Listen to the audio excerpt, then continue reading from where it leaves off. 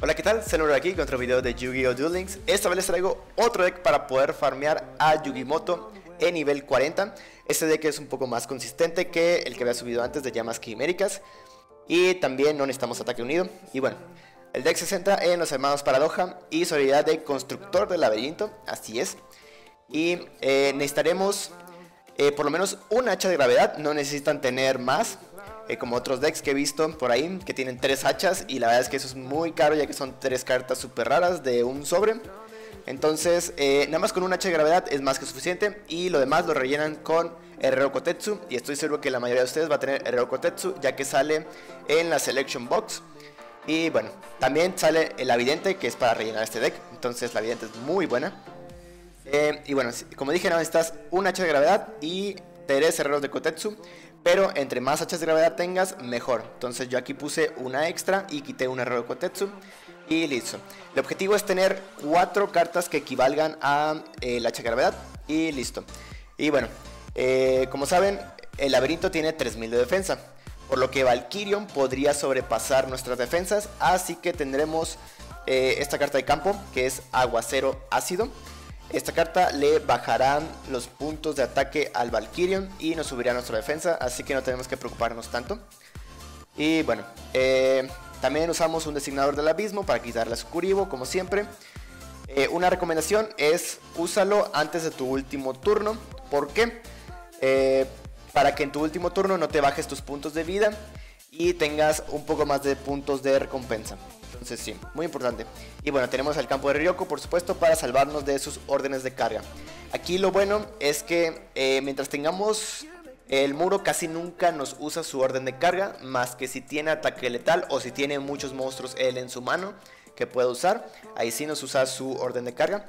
Pero si tienes otro monstruo en el campo, casi siempre se lo guarda. Entonces como vamos a tener el Tetsu o Videntes en el campo casi siempre, eh, casi siempre se va a guardar su, su orden de carga para después y nos dará tiempo de sacar por lo menos un campo de Ryoku. Así que sí, y bueno, lo demás es el combo final, ejército de Pira, por supuesto, eh, con una fusión o ritual de más de 2800. Yo, yo estoy usando el dragón del trueno para acelerar el deck también. Entonces el dragón del trueno más polimerización y listo. Vamos a usar Riryoku y Don del Mártir para pasarle el ataque del monstruo de 2800 a nuestro ejército de Pira que llega a 5000 y como el efecto de ejército de Pira es hacer el doble, pues tendremos los 10.000 de daño. Entonces sí, y bueno, aquí les voy a poner al lado el deck, pero es el deck con ataque unido. El mismo deck con ataque unido, que da más puntos y eh, que además es un poco más consistente ya que quito algunas cartas. Y bueno, eh, ¿por qué poner un deck con ataque unido? Bueno, esto es porque Yugimoto va a ser el personaje que más se farme eh, debido a que tiene dos cartas ultra raras, entonces es muy bueno para farmear piedras ultra raras. Eh, no solo eso, sino que también como tiene ataque unido y es la carta más importante para tener refractiva, estoy seguro que muchos de ustedes, aun cuando tengan dos ataques unidos van a seguir farmeándolo, intentando sacar sus ataques unidos refractivos. Así que aquí les pongo eh, la opción con ataque unido, que tiene más consistencia. Y bueno, como verán, lo único que le cambié es el combo final. Y bueno, la hormiga que ven ahí se obtiene del estadio JCJ eh, con tickets. Entonces eh, es fácil de obtener. Si lo pueden obtener brillante, mucho mejor. Si no, pues ahí está. Pero con cualquier monstruo que se pueda convocar, especialmente que tenga 1650 o más, es suficiente. Y bueno, creo que se me está lagueando el juego. Modo. Y bueno, lo bueno del dragón del trueno es que cuando activas su efecto sacas dos y puedes activar el efecto de, digo, la habilidad y ya regresar esas cartas. Bueno, yo aquí empezaré con todo mi combo de una vez. Activo la habilidad, Regreso los dos dragones del trono que acabo de sacar. le activo el hacha de una vez. Ya prácticamente ya tenemos el farmeo ganado. Lo único que necesitamos es el campo de Ryoku. Por suerte, como dije, eh, mientras tengas otro monstruo, casi nunca va a activar el campo de Ryoku. Digo, el orden de carga, perdón. Y bueno, déjenme nada más reiniciar tantito mi,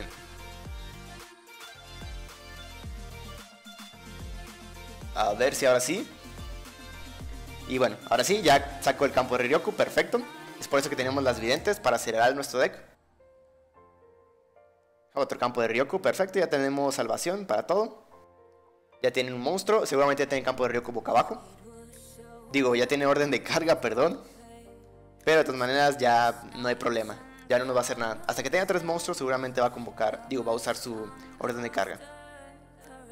Ah, ya no necesito el Rokotetsu, ya tengo el otro hacha de gravedad aquí. Así que seguir pasando turnos, seguir pasando turnos. Y listo. Perfecto, designador del abismo. Ahora sí ya va mejor el juego. Riryoku, combo final, combo final. Me está haciendo puras cartas del combo final. Por eso es muy importante también tener este, tres campos de Ryoku simplemente para sacar rápidamente un campo y listo, ya salvarnos. De todas maneras, como dije, casi nunca nos va a usar, ya que para Yugimoto no es este, algo malo que nosotros tengamos un monstruo de defensa muy alta, simplemente porque dice, ah, pues no me va a hacer nada. Entonces, no nos, no, nos, no le preocupa tanto usar su orden de carga. Solamente, casi siempre lo usa si tiene eh, ataque letal. Eh, vamos a tirar el campo de Ryoku. Perfecto, tiene tres cartas. Muy probablemente ya no tenga el campo de Ryoku. Entonces seguimos pasando turnos. Tiramos el hacha, no lo necesitamos. Videntes, perfecto, para acelerar más el deck. Ah, tenemos otro herrero por ahí. Ya tiene a sus dos esfinges ahí, pero no le sirve de nada. Ah, ¿qué sacamos? Vamos a sacar el aguacero. Simplemente... No, mejor voy a sacar el campo de Ryoku para que el aguacero sea la última carta. Hubiera preferido que hubieran sido una carta como final, precisamente para que se asegurara la carta hasta abajo. Y bueno, yo creo que aquí ya de una vez voy a usar el designador del abismo para quitarme un poco de cartas de la mano. Oscuridad, demonio, siempre recuerden eso. Ya tira su Kuribo, perfecto. Y podemos tirar, podemos tirar, ¿qué podemos tirar? Podemos colocar más bien esta carta boca abajo. listo. Podemos tirar también el guerrero Kotetsu. El herrero Kotetsu. Terminamos turno, tiramos el herrero. Perfecto, ejército de Pira. Ya vamos a tener que tirar el campo de Ryoku, no importa. todas maneras, ya es GG. Aguacero ácido. Aquí puedo activarla simplemente porque tiene brillo. Entonces puedo activarla y listo. Y bueno. Eh, aquí ya polimerización. Para nuestro monstruo de 1850 o más. Boom. Ejército de Pira. Pasaje secreto. Primero pasaje secreto, muy importante al ejército de Pira. Y ahora sí, vamos a activar primero Riryoku. Para pasar del de 2800 al ejército de Pira. Y luego donde el martillo. Para pasar todo el ataque del de 2800 a nuestro ejército de Pira. Y que así tenga exactamente 5 de ataque. Entonces hará 10.000 de daño debido al efecto del ejército de Pira.